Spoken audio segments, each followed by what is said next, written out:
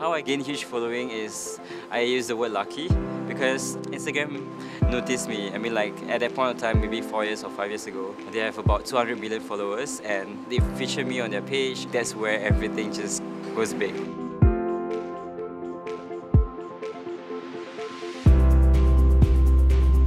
Innovation, in my opinion, is more in how you want to create certain things.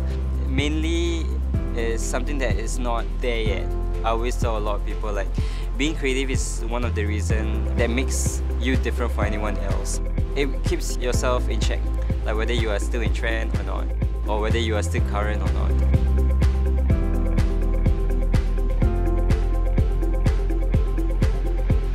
One of the things that motivates me is to help those people to have jobs and constant job flows for them. I know right now it's very hard to actually achieve that standard, but it's the goal that I'm actually working towards it. I really want to help my community and the creative community, um, especially in Singapore, where they can have like constant job flows and even get noticed to certain brands that they didn't even expect to be noticed.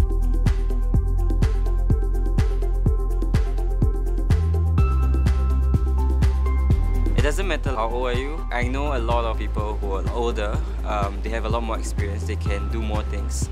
But I guess everyone have to, have to start somewhere and like no matter how young you are, you just have to keep learning and going.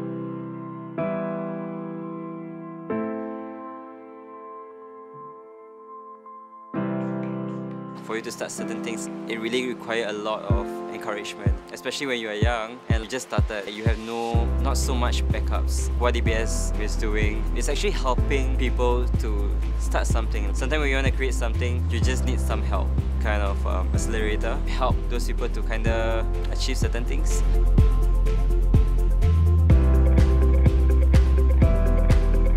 What is read?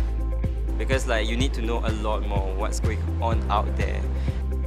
Always appreciate your mistakes because everyone does makes mistakes. So basically make a mistake, learn from it fast, move on. My advice is not to give up. Always keep yourself grounded and make sure that you always have your goal.